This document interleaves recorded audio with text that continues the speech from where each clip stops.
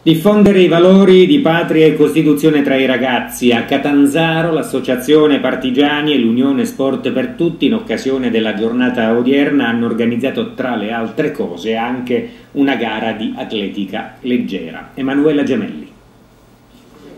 Celebrare il 25 aprile non è un rito, è un dovere per l'AMPI e per tutti i sinceri democratici e antifascisti ricordare la resistenza,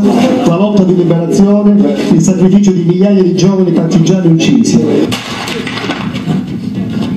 Non dimenticare, dare memoria alle nuove generazioni. La festa della liberazione viene vissuta con questo spirito. A Catanzaro, come in altre mille piazze d'Italia, le celebrazioni tendono a coinvolgere il maggior numero possibile di ragazzi.